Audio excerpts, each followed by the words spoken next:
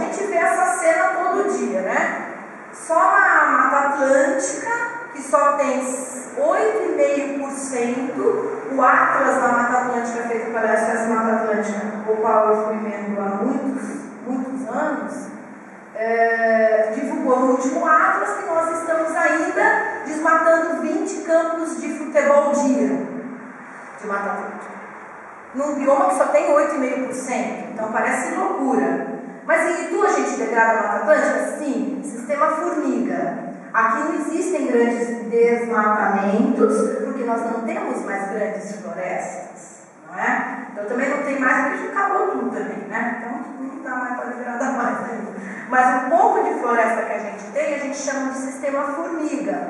Qual sistema formiga é? Hoje bota o gado lá. Aí corta as árvores menorzinhas. Aí, daqui dois meses, limpa o pasto. Aí corta mais um pouquinho. Mais um pouquinho, mais um pouquinho. E a gente só vê na imagem satélite, depois que é um vulcão, não é? Aí a gente vê depois, ou antes de depois, fala, nossa, mas a fazenda aqui tinha mais árvores, tinha mais remanescentes. Cadê essa floresta? Aí você compara a imagem e fala, hum, sei o que aconteceu. Então hoje o sistema na Mata Atlântica é mais de formiga do que a devastação da Amazônia, que é mesmo Amazônia e Cerrado, que é muito mais contundente, muito maior a, a, o desmatamento. Próximo. Bom, além do desmatamento, a gente tem alguns problemas com resíduos, muitos problemas com resíduos. Ainda no Brasil, nós temos aproximadamente 60% de lixão.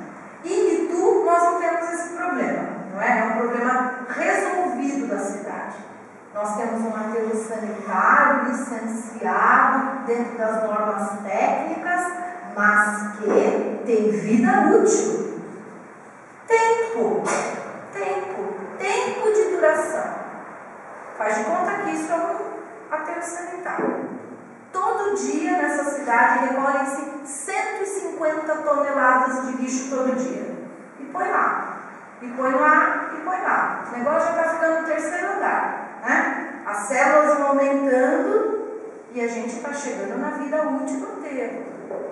Então, o problema ambiental do aterro a gente não tem mais, mas o problema do consumo a gente tem, né? Que é assim, é crescente. Cada vez mais nós temos tendo resíduo. Cada vez mais a gente corre atrás da coleta seletiva. Precisamos implantar coleta seletiva em maior quantidade de bairros. Já temos 89% de coleta seletiva. Agora eu falo que depois de 12 anos, e aí o, o Moreira me convidou para vir e falou assim, Valena, dá uma olhada no currículo, né? Eu acho que ele pegou de quando eu vim para cá, não foi, Moreira?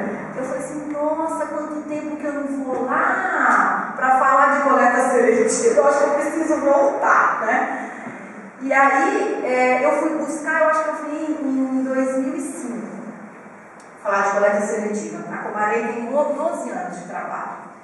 E em 12 anos é óbvio que melhorou muito o trabalho de coleta seletiva. É, começou com 5 cooperados, hoje tem 79. Começou com 10 toneladas, hoje são 350 toneladas. Então, é um trabalho muito bacana, muito legal, tem números expressivos. Mas ainda a gente tem muitos materiais recicláveis dentro do container verde. E o container verde é um processo de coleta, de gerenciamento de resíduos muito legal, muito avançado, só que as pessoas pensam que é para pôr o resíduo reciclável dentro do container verde. verde. O container verde é só para resíduos rejeito, que é resto de comida, hoje, ainda orgânico conseguiu separar, daqui a pouco nós vamos separar o orgânico também, hoje é resto de comida e o que não é reciclável. E o que é reciclável, como a lei passa nas nossas portas, dos nossos casas e dos condomínios, recolhendo o reciclável. Então, esse tipo de reunião que nós estamos fazendo aqui, de palestra, gostaria de agradecer novamente, é uma oportunidade para nós, cidadãos, falarmos para as pessoas e multiplicarmos a ideia. E falar, gente, não é para pôr no verde material reciclável. E aí tem muita história assim. Eu cuido do contrato, na verdade da operação, né? E aí as pessoas ligam, reclamam, falam, cidadão, manda e-mail, né, prefeitura.